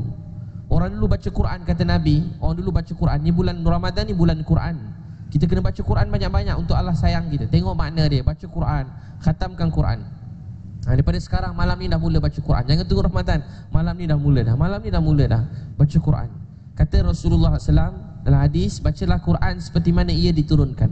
Quran turun dalam keadaan sedih, nangis. Kita baca Quran sambil gelak ketawa, main-main kadang. Orang dulu baca Quran nangis. Sebab Quran turun dengan air mata darah. Sepanjang hidup Nabi ni perjuangan. Seluruh hidup Rasulullah SAW perjuangan. Dia baca Quran dengan nangis. Baca Quran dengan apa? Dengan nangis, dengan rasa gembira. Ha, baca Quran. Boleh insya-Allah? Boleh baca Quran kat rumah. Hidupkan dalam rumah bacaan Quran dengan keluarga dengan anak isteri baca hadis Nabi wasallam ha, beli buku hadis baca kat keluarga sama-sama dengan keluarga dengarkan keluarga hadis Rasulullah wasallam ataupun buat kat rumah saya cadangkan ha, dalam masa 3 bulan kalau keluarga tak berubah setiap malam baca 5 minit baca Quran 5 minit 5 minit baca hadis. Keluarga-keluarga tak berubah jumpa saya tampang buku saya kuat-kuat. Ha, tapi saya cek lah kalau banyak tinggal baca seminggu sekali saya tampang balik semula lah InsyaAllah Quran hadis ni dia menghidupkan hati. Betul ubat. Ubat untuk bangunkan diri kita jadi orang kuat. Anak-anak jadi baik Jaga solat, jaga perintah Allah. Ha, Masya Allah. Seterusnya tuan-tuan sekalian Bulan Ramadan ni hidupkan amalan malam Bangun malam, tahajud ha, Hidupkan amalan malam, bangun tahajud. Ha, Tarawih jangan tinggal Tahajud pun kita jaga. Sahur tu sunnah Nabi. Walaupun tak suka sahur, sahur juga. Ha, Sahur tu sunnah Rasulullah SAW Jangan awal-awal, jangan pukul 3 sahur dah. Ha, Subuh pukul lima setengah Kat negara, kat negara, kat Malaysia, kat Semenanjung ni lah. Ha, Pukul tiga dah sahur. Tak awal-awal, pukul lima je sahur. Empat setengah sahur kan? Empat setengah tu siap-siap. Ha, Empat setengah pukul lima sahur. Jangan sahur pukul tiga setengah pagi Sahur pukul dua belah malam tak sahur dah lah Jadi dalam sahur tu ada sunnah berkat ha, Sahur. Jadi saya mulai Kejut anak-anak kecil pun sahur. Kejut Anak-anak kecil sahur. Boleh insyaAllah tuan-puan? Ha, siapa niat Ramadan ni sebab dakwah dia yang kuat. Semua keluarga dia dia bawa dekat dengan Allah Angkat tangan. Siapa niat macam tu? Kalau ada keluarga tak solat Adik-beradik, adik-beradik ipar Mana-mana yang tak solat Dakwah dia supaya solat. Ni bulan dakwah. Bulan hati kita hidup. Bulan ni bulan dakwah. Bulan ni bulan bulan dakwah. Ha, Bulan hidupkan perjuangan agama Jangan bulan ni makin lemah Makin malas ya ha, Dakwah tak nak ha, Majlis ilmu tak nak Tak bulan-bulan ni tingkatkan Dakwah Majlis ilmu Ibadah Semuanya kita tingkatkan bulan Ramadan ni Ini bulan berjuang. Bulan apa? Berjuang. Hati manusia tengah tengah lembut. Ha, kita baca Quran tapi ajak umat baca Quran. Kita belajar hadis Nabi SAW Kita ajak umat belajar hadis Nabi SAW ha, Kita ajak umat ni kenal Allah, kenal Nabi ha, Baik tuan-puan ha, Cukup tu pukul 9 dah Ada tuan-puan nak tanya soalan? Tak ada. Saya teruskan boleh? Ha, teruskan, saya ada kongsi doa-doa ni. Doa keluar rumah. Keluar rumah kaki apa? Keluar rumah kaki? kiri. Baca doa bismillahi tawakkaltu ala Allah la haula wala quwwata illa billah. Riwayat Tirmizi dan hadis riwayat Abu Daud. Saya baca doa ni Allah jaga dia. Allah cukupkan rezeki. Allah jauhkan syaitan. Allah pimpin dia. Saya sebut dia laju lah Ada sahabat Nabi ada masalah hutang. Nabi ajak masuk rumah beri salam. Baca surah Al-Ikhlas tiga kali selawat. Saya selalu buat Sebila susah dua hari selesai. Lepas tu tak buat-buat dah. Tuan cuba buat lah ha, Tapi tak adalah peng antas Sepenuh doa kereta dihalalkan. Ha, Biasa peng antas sebaik-baik orang Ialah orang paling baik dalam membayar hutang. Hadis sahih Muslim peng antas tapi kau nak balas surat bank boleh juga. Riwayat Bukhari ada peniaga. Dia memudahkan orang bayar hutang Dia masuk syurga. Ha, Saya ambil sikit je hadis tu depannya. Ya tuan-puan boleh amal Kemudian Keluar rumah kaki kiri. Baca bismillahi Tawakkal tu'ala Eh silat dah. Baca hasbi Allahu la ilaha illahu alaihi tawakkal tu wa huwa rabbul arshil azim. Tujuh kali pagi dan petang Saya baca doa ni dalam hadis Nabi SAW yang sahih. Tak ada berita sedih menimpa kita Walaupun kita tak yakin. Baca doa tu berapa kali? Tujuh kali pagi dan tujuh kali Tujuh kali petang. Saya Muslim Kalau hilang apa-apa baca doa ni. Inna lillahi Kalau sedih Inna lillahi semua dari Allah. Wa inna ilaihi raji'un. Balik pada Allah. Allahumma ya Allah ganjarkan ajurni fi musibati atas musibah ini. Wa akhlif li gantikan khairan minha. Ummu Salamah suami dia meninggal. Kisah cinta dia panjang. Ha, oh, Panjang pada ombak rindu lagi. Dibaca doa tu dapat kahwin dengan Nabi Sallallahu Alaihi Wasallam. Mana-mana akak-akak dah lama tak ada kan boleh baca. Nanti dapat suami baru. Ha, Yang saleh, takwa, baik kan yang tapi kalau tak nak kahwin lain pun boleh. Hadis Nabi SAW, Nabi SAW bersabda, wanita yang berkulit hitam, berwajah hitam. Sebenarnya bukan wajah hitam. Nabi kata mereka dengan aku nanti boleh ziarah Nabi. Nabi SAW tunjukkan dua jari, maksudnya sangat dekat, sangat rapat dengan Nabi SAW. Siapa wajah wanita yang berwajah hitam tu wanita yang kematian suami.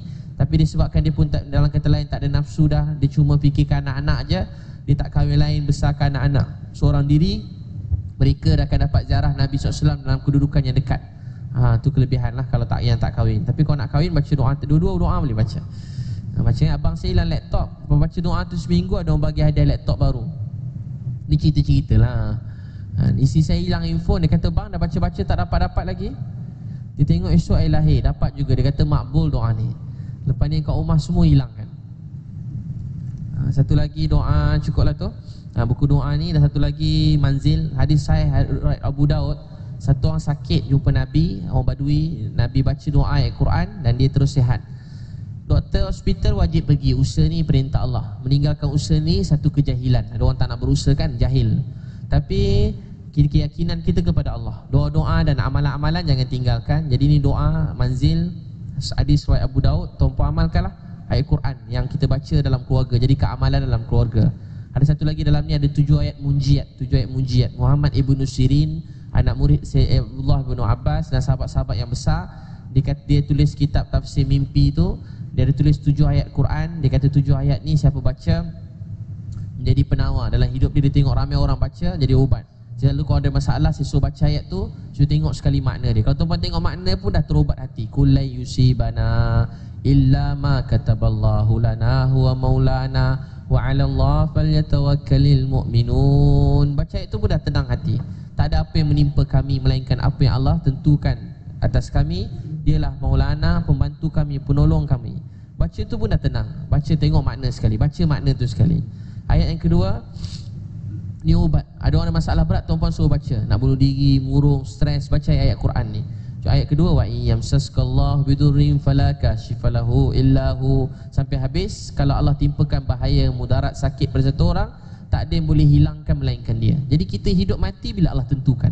Bukan mana-mana orang, bukan dia, bukan dia tak tak. Apa yang Allah tentukan itu saja akan terjadi. Jadi bila kita baca ayat tu, keimanan keyakinan kita kepada Allah semakin bertambah.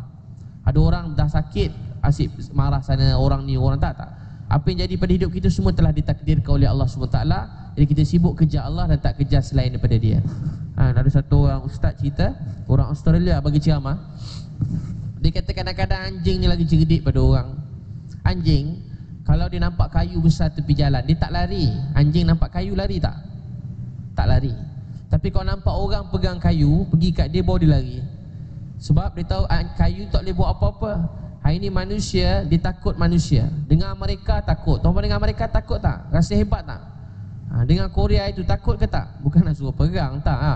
Nak cerita rasa-rasa lain macam sikit tak? Ada tak rasa sesuatu? Ha, rasa tak hebat? Tuan-tuan sekalian, kalau tuan-tuan nak tahu yang empunya Amerika tu semua sekali pemilik sebenarnya Allah. Yang pemilik Rusia tu Allah. Pemilik China tu Allah. Pemilik Korea tu Allah. Pemilik Malaysia ni siapa punya Malaysia ni? Allah yang punya. Mana ada kita punya? Semua Allah punya. Allah yang punya. Tapi kita takut dengan makhluk. Patut kita takut kalau langgar perintah Allah. Langgar perintah perintah Allah. Yang boleh beri bahaya, sakit pada kita cuma siapa? Cuma Allah. Kita akan bahagia bila Allah tentukan. Satu dunia puji, sanjung, puji kita. Kita jadi mulia tak? Tak. Ada orang-orang cakap dia sikit itu merajuk. Rasa lemah, rasa tak boleh nak bangun, rasa nak bunuh diri, sakit kepala, berhenti buat baik, berhenti buat dakwah sebab orang kata dia. Sebab apa jadi macam tu? Sebab kita ingat dengan pujian, penghargaan orang boleh beri kita apa-apa tak? Tak. Orang keji, orang puji, orang hina, tak ada apa-apa. Yang mulia, yang beri mulia dan hina cuma siapa? Cuma Allah. La ilaha illallah. Hidup kita untuk Allah sayang. Kita tak harapkan pujian orang. Orang tak puji tak apa. Orang keji pun biar. Orang pijak-pijak kita tak apa. Yang penting Allah sayang kita. Yang penting Allah sayang kita. Kita bangun pagi pernah takut tak matahari jatuh. Tuan pernah takut tak? Jalan pernah fikir tak matahari tak timbul esok. Bawa kereta pernah fikir tak bumi tenggelam. Kita yakin insya-Allah tak tenggelam. InsyaAllah langit tak jatuh. Siapa yang cipta bumi dan langit ni? Allah. Kita kena yakin pada Allah. Lebih daripada bumi yang kita pijak. Lebih pada matahari yang akan keluar esok pagi. Tak ada orang tanya matahari tak keluar Quran ini Tak ada orang fikir. Allah yang jadikan semua ni. Semua Allah punya. Untuk tu kita sibuk kerja Allah. Sibuk kerja Allah Jangan gerun selain pada Allah. Suami, jangan buat baik untuk suami. Sedih, kecewa, sakit kepala, runsing Yang bagi saya bahagia bukan suami Yang bagi saya bahagia Allah. Dia ada ke tak ada yang bagi bahagia Allah. Saya buat baik pada dia, hikmat dia untuk Allah sayang saya. Allah sayang saya, saya bahagia. Walaupun dia tak hargai, saya tak sayang saya. Eh, Suami pun sama. Kita buat baik pada isteri dan anak Bukan supaya dia hormat kita. Dia hormat tu mereka. Yang penting kita buat baik. Yang penting Allah sayang saya. Tuan-tuan puan kita buat dakwah, buat baik untuk Allah sayang apa orang nak kata tu urusan dia orang dengan Allah. Kita doakan hidayat kebaikan untuk semua orang Tapi kita tak terkesan dengan apa orang kata. Ha, Tu kita baca ayat munjiat tu dia jadi obat Tengok oh Allah yang buat. Kita terlupa kadang-kadang. Terlupa Allah yang buat. Jadi tuan-puan itulah buku doa. Ada saya sebut laju saja sebut laju sebab ada jual kat luar. Supaya tuan-puan beli kat luar. Ha, Saya gurau je. Tak ketawa tuan-puan eh? Satu lagi saya tulis buku tangisan umat supaya banyak nangis ha, supaya banyak nangis, supaya dia fikir risau. Bagus untuk anak muda dan pemimpin-pemimpin. Ha, tuan-puan bacalah, kalau tak nangis pulang baliklah. Saya gurau tu tuan-puan jangan iya-iya pula. Ada Felix Siayap letak kat Facebook di buku surat 15 antara perkara yang mengetuk hati dia. Satu lagi saya tulis uh, Isteri Ku Bidadari. Ini buku saya yang baru, 11 kaedah bimbing keluarga. Ha, lepas mak saya meninggal, saya tulis buku ni. Saya niat ya Allah, kalau ada pahala hadiah buat mak saya. Tapi buku ni saya tak hadiah kat tuan-puan lah. Tuan-puan kena beli sendirilah. Ramai perempuan baca jadi obat lah Ubat-ubat cerita-cerita kisah-kisah je. Tak ada apa. Buat Allah yang bagi obat tu ha, Jadi dia baca-baca dia tenang begitu. Allah yang bagi tenang. Ha, Suami-suami pun ramai baca. Lepas tu lepas baca sampai buku surat 6 je Dia rasa nak peluk keluarga dah. Ha, Sayang keluarga. Lepas tu tak baca-baca dah. Sampai buku surat 6 je. Ha, isteri ku bidadari. 11 keedah mimpin keluarga. Saya tu dalam bentuk kisah-kisah sekarang lah Yang mudah-mudah Saya bukan ustaz, bukan walim, tak pandai. Ha, Jadi saya cuma cerita-cerita Cerita-cerita Tuan yang baik, tuan pun ambil. Yang tak baik, buang jauh-jauh, jangan ambil. Satu lagi perjalanan hidayah umat Ini betul saya ambil daripada kisah-kisah yang sahih Tentang sahabat-sahabat mati syahid. Saya tak tambah-tambah perkataan saya sendiri pun ha, Tentang orang mati syahid Supaya hargai agama ni Agama sampai dengan perjuangan. Bukan nak suruh tuan puan berperang Berdakwah dengan kasih sayang Bangunkan manusia Doakan orang lain. Tapi kita dengar kisah ni Memberi kita semangat Dan kita faham agama sampai dengan kita Kepada kita dengan perjuangan. Satu lagi saya tulis buku Menelusuri Cinta supaya melalui hidup ni dengan cinta, mendengar dengan cinta uh, dan melalui mendengar melihat dengan cinta. Tuan boleh dapatkan set buku ni ada kat luar tu nanti kat depan tu. Jadi tuan-puan sekalian, uh, jagalah agama ni baik-baik untuk Allah sayang, untuk Allah terima bawa agama seluruh dunia. Siapa niat supaya Allah terima seluruh keluarga dia untuk Islamkan seluruh dunia angkat tangan. Siapa nak semua sebut ya Allah. Ha, ni saya saja tau bukan amalan ke apa saja. Angkat tangan kata ya Allah.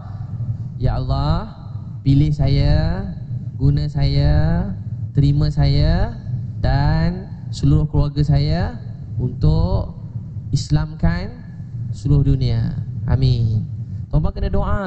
Pergi mana-mana doa. Nampak orang putih dekat airport, doa dia. Ya Allah, berilah hidayat kat dia. Tengok dia datang kat kita siap lagi. Ha. Tengok orang bukan Islam doa. Jangan simpan, jangan kedekut doa. Sian dia orang. Ha, Sayyidina Umar tengok mengurus negara ada rahib daripada eh, maaf ada orang Kristian minta bantuan daripada Syria. Sayyidina Umar nangis. Orang tanya kenapa nangis? Tak ada apalah. Beri dia lebih. Dia nangis. Tanya kenapa? Saya sedih. Masa saya jadi khalifah Ada orang tak kenal Allah. Saya minta maaf. Saya sedih. Di tengah jalan lah itu sahabat. Ada rahib tengah beribadat. Dia lalu tiba-tiba dia nangis. Ada orang kejar dia. Kenapa nangis? Sayyidina Umar kata saya sedih dia baca Al-Quran Mereka berusaha keras Tapi mereka berusaha pada jalan yang salah. Kita sedih Tengok orang jauh pada Allah. Eh, Belajar sedih Rasa sayang Pada orang lain Semua sekali. Boleh insyaAllah? Ha, Mudah-mudahan Allah SWT terima. Tuan-puan bagus kan dengan ceramah ni. Sampai pukul apa nak ceramah ni? Ha, Cukuplah tu. Jadi mudah-mudahan Allah SWT terima Allah sayang Allah maafkan kita. Jadi mulakan rumah tangga kita kebaikan Sehingga kita balik pada Allah Allah gembira. Jadi Ramadan ni kita niat yang paling baik. Jadi paling baik kita tinggalkan kejahatan doa dengan Allah jadi orang baik mati dengan iman Allah terima. Kita doa sama-sama. Masya Allah ada makcik-makcik ni ha, orang-orang yang banyak berjuang ni makcik-makcik. Abang-abang haji-haji ni semua orang lama-lama ustaz-ustaz. Ada orang alim depan saya ni sudi dengan mu'alab dia cakap kat depan ni. Jadi tuan-puan baik-baik depan saya mudah-mudahan salah seorang tuan-puan yang ikhlas mudah-mudahan Allah SWT terima doa kita semua. Kita doa sama-sama. A'udzubillahi minasyaitanirrajim. Bismillahirrahmanirrahim الحمد لله رب العالمين والصلاة والسلام على أشرف الأنبياء والمرسلين وعلى آله وصحبه أجمعين. يا أول الأولين يا آخر الآخرين يا ذا القوة المتين ويا راحم المساكين يا أرحم الراحمين يا أرحم الراحمين. يا أرحم الراحمين. اللهم يا حي يا قيوم برحمتك نستغيث. يا حي يا قيوم برحمتك نستغيث. يا حي يا قيوم برحمتك نستغيث. يا ذا الجلال والإكرام يا ذا الجلال والإكرام يا ذا الجلال والإكرام. اللهم صل على محمد وعلى آل محمد كما صليت على إبراهيم وعلى آل إبراهيم وبارك على محمد وعلى آل محمد كما باركت على إبراهيم وعلى آل إبراهيم في العالمين إنك حميد مجيد يا الله Tuhan yang maha penyayang Maha pengasih, maha pemurah Ya Allah, kami hamba-hambamu Sedang menadahkan kedua belah tangan kami Ya Allah Ya Allah Terima kasih kerana sayang kami. Ya Allah Terima kasih kerana uh, Ambil kami Selamatkan kami. Terima kasih Kutip kami ambil Selamatkan kami Beri kami Islam. Ya Allah Dulu kami tak tahu apa nak jadi dengan hidup kami. Kami tak tahu Kami tak ada hala tuju. Hidup kami musnah. Kami tak tahu pada siapa nak nangis kami tak tahu apa jadi dengan hidup kami dan keluarga kami. Sampailah satu hari engkau datang Kau setelah selamatkan kami Beri datang ke hidayah untuk kami. Ya Allah, terima kasih beri kami dapat kenal kau Ya Allah, terima kasih keluarkan kami daripada kejahilan, kesesatan. Hadiahkan kami dapat Islam. Ya Allah, kami bahagia dapat Islam. Kami tak tahu nak cakap Nak ucap terima kasih bagaimana. Tapi kami bahagia dapat Islam ni. Ya Allah, kami bahagia dapat Islam kami bahagia mak ayah kami dapat Islam. Kami bahagia mak kami, keluarga kami ada meninggal dengan Islam. Wahai Allah, Ya Allah, Ya Allah Terima kasih beri keluarga kami Islam. Ya Allah, terima kasih beri kami dapat sebut nama kau Terima kasih beri kami dapat dengar nama kau Terima kasih beri kami dapat kenal kau Dapat ingat kau, dapat puji kau Ya Allah, terima kasih. Sebab selamatkan kami. Ya Allah, terima kasih sebab selamatkan kami Ya Allah kalau kau tak selamatkan kami Kami tak tahu kat mana kami sekarang. Ya Allah terima kasih sayang kami. Ya Allah teruslah selamatkan kami dan keluarga kami. Jangan biarkan kami. Tadi kami sini walaupun satu kelipan mata Walaupun satu saat. Ya Allah Janganlah biarkan kami. Kami lemah, kami daif Kami tak pandai. Kalau maha bijaksana, maha kuat, maha mulia. Tolonglah selamatkan kami. Ya Allah selamatkanlah mak dan ayah kami Selamatkanlah keluarga kami, adik-beradik kami. Ya Allah selamatkan isteri anak-anak kami. Ya Allah ampunkan dosa keluarga kami. Ya Allah kami tak ampun atas semua segala salah silap kami. Kami minta maaf. Ya Allah kami minta maaf kami tak ampun. Ya Allah Ya Allah mak ayah kami yang sakit Dengan rahmat kasih sayang kau berilah sihat. Mak ayah kami yang uzur Beri mereka sihat. Ya Allah, mak ayah kami yang sedang bersedih Kau bahagiakan hati mak dan ayah kami Mak ayah kami yang susah kau lapangkan. Ya Allah, mak ayah kami yang jauh daripada engkau dekatkan kepada engkau. Mak ayah kami yang belum Islam beri hidayah datang pada Islam. Mak ayah kami yang belum solat beri taufik untuk solat. Ya Allah, ada antara kami Mak ayah kami telah meninggal dunia. Kami rindu mak ayah kami. Ya Allah, jagakan mak dan ayah kami buat kami. Ampunkan dosa mereka. Kasihi, sayangi mak dan ayah kami Sebagaimana mereka mengasihi dan menyayangi kami semenjak kami kecil. Ya Allah, kasihi sayangi mak ayah kami Seperti mana mereka mengasihi dan menyayangi kami semenjak kami kecil. Ya Allah kasih dan ampunkan dosa mak ayah kami. Hadiahkan mak ayah kami dengan syurga fidausmu Ya Allah hadiahkan mak ayah kami dengan syurga fidausmu Ya Allah kekurangan kami dalam berkhidmat dan menjaga mak ayah kami Adab kami yang tak baik pada mereka Kalau kami pernah tinggi suara cakap kasar Kami potong mereka berjalan. Kami mengguris hati mereka kau maafkan. Ya Allah kami minta maaf. Kami minta ampun. Ya Allah kami minta maaf, kami minta ampun. Ya Allah Kami sayang isteri suami kami. Pasangan hidup kami kau maafkan mereka. Ya Allah kami sayang pasangan kami. Kau sayangilah pasangan kami, isteri kami. Ya Allah bimbing kekurangan kami. Dalam membimbing dan menyayangi isteri kami Kau maafkan. Ya Allah kekurangan kami dalam menyayangi dan bimbing isteri kami Kau maafkan. Kurangnya amalan dan fikir risau isteri kami Kami tak ampun pada engkau. Ya Allah kami minta maaf pada engkau. Kami bertaubat pada engkau. Ya Allah maafkanlah kami. Ya Allah maafkanlah kami. Kau beri kami isteri, keluarga, anak-anak sebagai amanah Untuk kami bimbing dan pimpin masuk syurga. Kekurangan kami dalam bimbing mereka kau maafkan. Ya Allah Anak-anak kami, kami sayang anak-anak kami. Kau sayangilah anak-anak kami. Ampunkan dosa anak-anak kami Ya Allah bimbing pimpin anak-anak kami. Mereka jadi da'i-da'i yang bawa Islam ke seluruh dunia. Ya Allah Janganlah ada mana-mana anak keturunan zuriat kami Yang jauh daripada agama ini. Bila semua anak-anak kami jaga solat awal waktu Ya Allah Tuhan yang maha penyayang, maha pengasih Kami tahu kau sedang dengar doa kami Menyaksikan kami. Ya Allah Kami hamba-hambamu. Kami pohon kasih sayang kau Ya Allah. Adik-beradik kami yang jauh daripada engkau Dekatkan kepada engkau Ada antara kami adik-beradik kami belum Islam Bila hidayat. Untuk datang pada Islam. Ya Allah Berilah hidayat. Untuk datang pada Islam. Abang kakak kami yang tak Islam bila hidayah itu datang pada Islam. Ya Allah Abang kakak kami yang belum Islam Bila hidayah datang pada Islam. Ya Allah Dalam ramai-ramai ini ada orang kau sayang. Ya Allah Ya Allah Ya Allah Abang kakak kami yang tak Islam Bila hidayah itu datang pada Islam. Ya Allah Pakcik-makcik kami yang tak Islam Bila hidayah itu datang pada Islam Ya Allah Anak-anak saudara kami yang tak Islam. Bila hidayah itu datang pada Islam Ya Allah anak-anak saudara kami yang tak Islam. Bila hidayah itu datang pada Islam Ya Allah kami tak pandai nak buat dakwah. Kami adukan kelemahan dan kedaifan kami dalam berdakwah pada kau. Kami tak pandai buat dakwah kau maafkanlah kami Kami tak reti nak buat dakwah kau maafkan Kami tak sungguh-sungguh buat dakwah maafkan kami? Ya Allah kami tak sungguh-sungguh buat dakwah maafkan kami? Ya Allah maafkan kami tak pandai buat dakwah? Kami tak reti tak tahu macam mana buat dakwah maafkan kami? Ya Allah keluarga kami tak kenal Bila untuk kenal kau Maka kami tak kenal kau Bila dapat kenal kau? Ya Allah Ya Allah Ya sayang kau. Bila keluarga kami tak Islam Dapat Islam Ya Allah keluarga kami tak Islam. Bila hidayah itu datang pada Islam. Ya Allah Ada tujuh bilion manusia dalam dunia. Ada lima bilion orang tak Islam.